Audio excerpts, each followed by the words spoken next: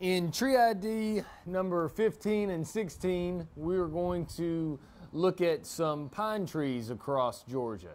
So the unique thing about any pine trees that we're identifying are needles first and however many needles per bundle or needles per fascicle or some people even say needles per cluster um, that each pine tree species have. Some might have three per cluster, uh, some might have five, and then they're different lengths. So that's one of the features that we can tell different species of pine apart from one another. Another feature, like you'll see set up on this table, are the pine cones. Um, they'll vary in size and shape as well. And then the third distinguishing feature about differentiating pines is going to be the buds on these pine species. Some of them have distinct buds that really help differentiate some of the closer species together. So without further ado, we will move into tree identification number 15, which is going to be eastern white pine. We've got loblolly pine, longleaf pine, slash pine, and table mountain pine.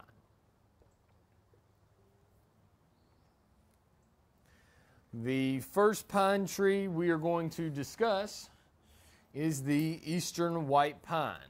So as you can see, um, the eastern white pine, just in the overall look of it, has a pretty smooth stem here.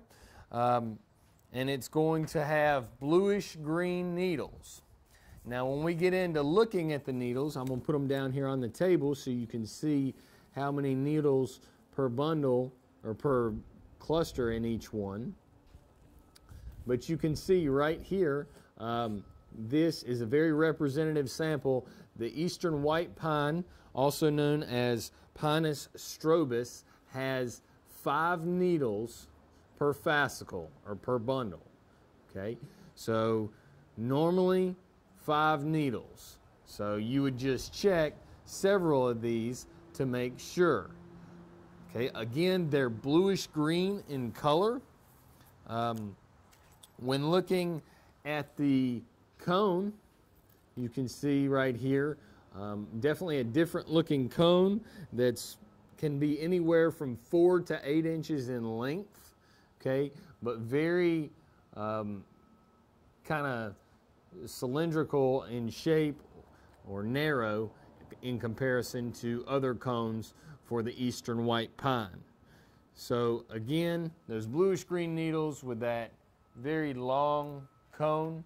Um, and again, when you're looking at this, if you were looking at the tree as a whole, then you would see that branches occur kind of in whorls around the tree trunk. Not a very largely economic tree as far as uh, forest harvesting goes in the state of Georgia because of the way it branches and whatnot.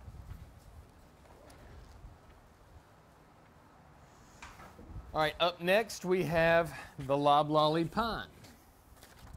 Um, very common tree in Georgia. Pinus taeda is the scientific name, as you can see. Um, lay it down here on the table. Let's take a look. And on the loblolly pine, you can see we have three needles per fascicle. And again, they're going to be six to nine inches in length.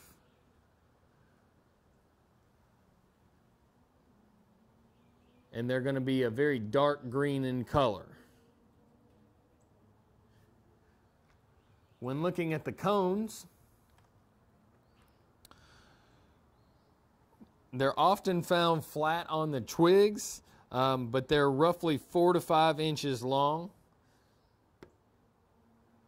Kind of a medium-sized cone when looking at some of the differences between the larger ones and the smaller ones. Um, but again, often flat on the twigs and four to five inches long.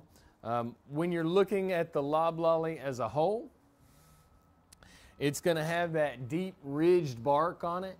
Um, so you can kind of really tell that when you're looking at a standing tree, trying to compare it to maybe a, a short leaf pine or something else. But it's going to have those deep furrows or ridges in the bark that will help you differentiate between that.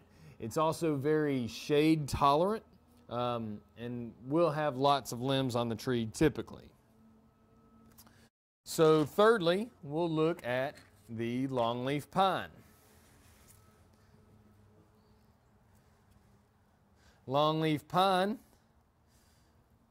it's all in the name here, typically has three needles per fascicle. Scientific name, Pinus palustris on the longleaf. But those needles are going to be roughly 10 to 18 inches in length. Okay? And they'll the needles themselves, as you can see on this limb right here, tend to be crowded at the end of the twig. Okay? So it'll give those long, kind of spilling over needle look on the whole tree. Okay? And then looking at this limb, another very distinct feature um, for longleaf, if you're getting it confused with maybe slash pine, which also has a pretty long needle, but you'll have that white fuzzy large bud, probably the largest bud on the pines we're going to see. But that white fuzzy bud gives longleaf away every time. Okay. When looking at the cones, just like the needles, you've got a very large cone. Um, this cone can be anywhere from 6 to 10 inches in length when mature. And it's pretty easy to tell apart from most of the others. Some interesting facts about the longleaf. Um, this used to be a very dominant pine species in the late 1800s, early 1900s, but due to overharvesting and poor management, we saw a rapid decline in the number of longleafs that we see now. Um, again, it used to be very dominant, but it was, it was widely known to be a good timber tree um, and certainly got a little over harvested and poor management practices, uh, a lot of fire suppression, whereas the longleaf pine thrives under fire. Um, in the 19, early 1900s, they didn't realize that at the time, so they had a lot of fire suppression methods that really helped eliminate this because in the first couple of years of its life, it's very susceptible to brown spot needle blight, and the use of fire helps cure that.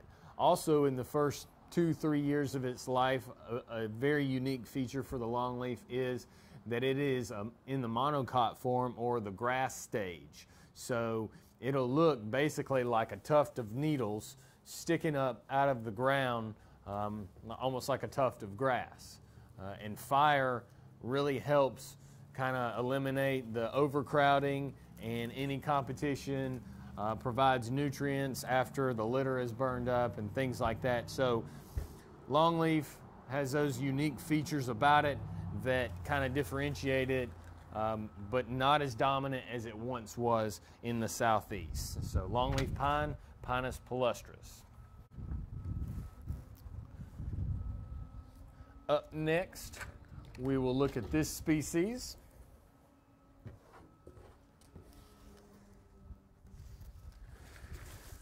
And this is the slash pine. The slash pine is going to have two to three needles per fascicle. Uh, a lot of people say that the S pines are ones that have those two to three needles per fascicle, and that's kind of the way you can remember it if you see that um, when looking. But you can see that example of two there. This one's looking like it mostly has three on it, but you will occasionally find um, two needles per bundle on the slash pine.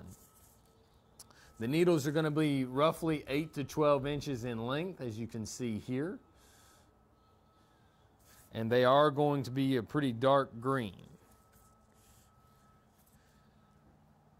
When looking at the pine cone, as we see there, um, one thing you may notice from the back um, and sides, this one shows it really well.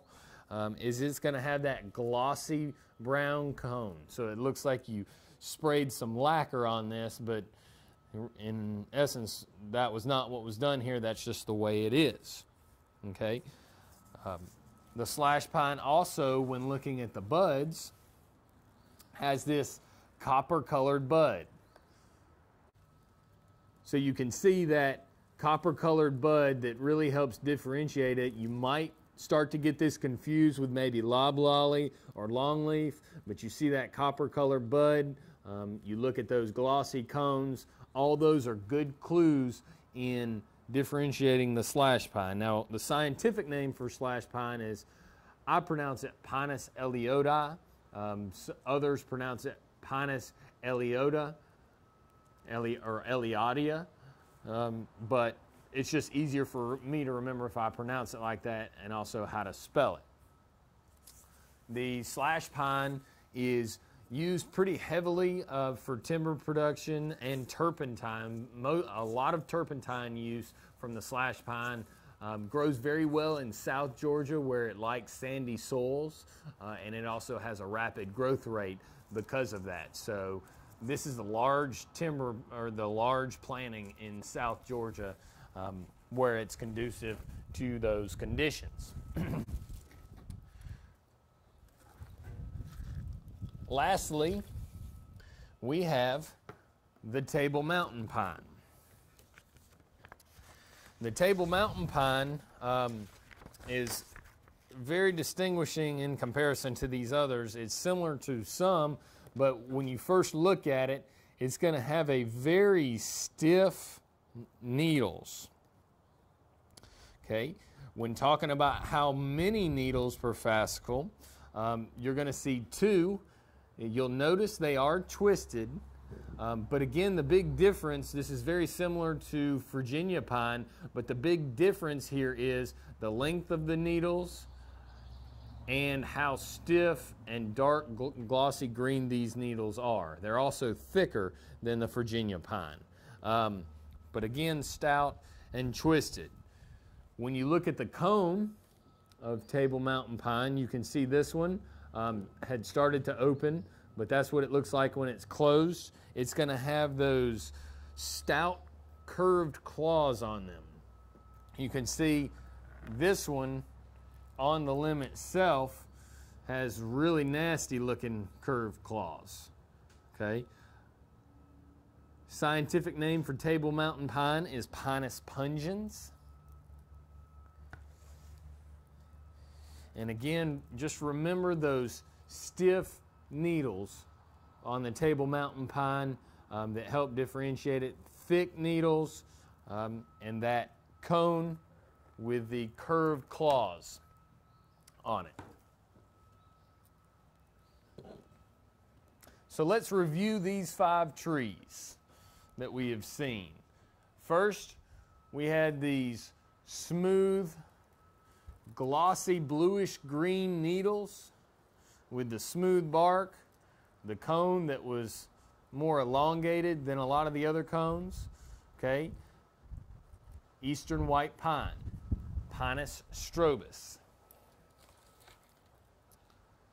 Second, we looked at a very common pine tree in Georgia for planting and just native wise. Um, three needles per fascicle on this with needles that are roughly four to eight inches in length.